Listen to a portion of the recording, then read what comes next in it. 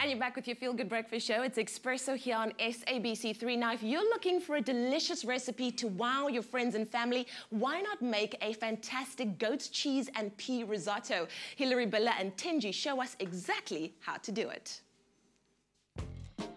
Last night's episode of Hayden Quinn South Africa saw our favorite foodie draw inspiration from Fairview. The farm is a proud supplier to Woolworths and carries the Biodiversity of Wine or BWI label, which means the wine producer farms sustainably. I am ever so excited to be back in the kitchen with my favorite food editor, Hilary Biller. It's so lovely to have you back. So I didn't scare you away, did I? Absolutely not. I'm actually raring to go for today. And today we're going to try a recipe from our favorite shrimp on the barbie chef, Hayden Quinn. Yes, well, he's gone a little bit French this week. Oui, oui, oui, oui. yes. um, notice minus the beret, but he headed off to the sort of food and wine capital of South Africa, Franschhoek. And it's difficult not to fall in love with Franschhoek, and you can see that he's been inspired by the just abundance of fresh produce to produce quite a classic recipe. It's a really easy recipe. It's very versatile. It's risotto and it's made with rice and you can add all sorts of different ingredients to it. But our man got really down to earth. You know, he loves sort of organic, mm. fresh produce and he's used peas, lovely thyme, celery, lots of garlic, onion, and then of course some goat's milk cheese. But the most important when you're making a risotto is actually the stock.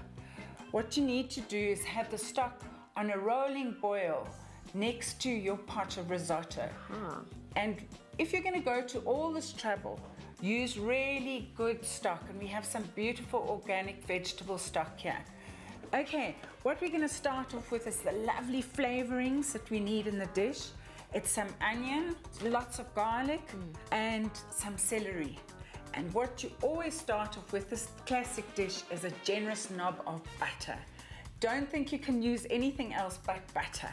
You want that lovely richness it gives. Okay, now to all the foundation ingredients that work so well. It's the onion, the garlic, The more butter and the more garlic together, the better. generous handful of celery, lovely color, great crunch. Stir that through, cook it till it's just soft. And what about a handful of thyme? What a good student you are.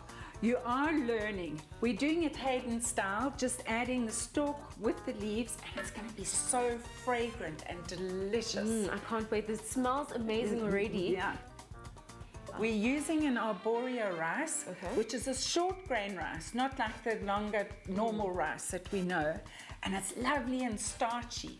So what happens as it cooks, it releases the starch and then the rice can take up all those beautiful flavors. Ah. And just to deglaze the pan, you need a lovely splash of white wine. Choose a bottle that carries the BWI logo to be sure the winery is farming sustainably and helping to conserve our biodiversity. You could use a verjuice, which isn't alcoholic, or some lovely fresh lemon juice. Uh-huh. And I think we need just a dash of lemon.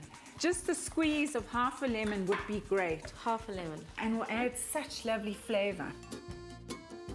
Gently stir while adding in one ladle of hot stock to the rice.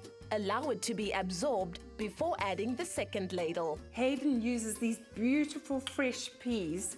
That's the versatility of this dish, is you could almost add anything. And then for the creaminess, some lovely goat's milk cheese. The star of the show. Yeah, but I love that part in Hayden's show when he milked the goats, and then I'm sure that's what inspired him to use goat's milk cheese in the risotto.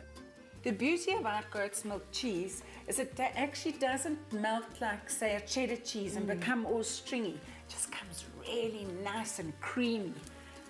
I am so looking forward to this dish. It's smelling oh. absolutely amazing. And risotto waits for no man. You've got to serve it and eat it immediately. That's true. We've been So, under some time yes, pressure, so but let's go. Nice, big, generous helpings. Let's recap. Heat your vegetable stock. In a separate pot, cook the onions on a medium heat. Add the garlic and thyme and continue to cook. Add the arborio rice and lightly fry. Deglaze the pot with white wine and squeeze of lemon. Next, ladle hot stock onto the rice and gently stir. Add the fresh peas last. Once the rice is cooked, crumble in goat's cheese. Well, as Hilary said, this is definitely a dish for two. So if you'd like to have this for dinner, all you have to do is SMS the keyword Hayden to 33728 and we'll send you a link to the recipe and an ingredients list. Hilary, I think it's time for us to enjoy this. Quite Entre nous. Ah, mm. Bon appetit. Bon appetit.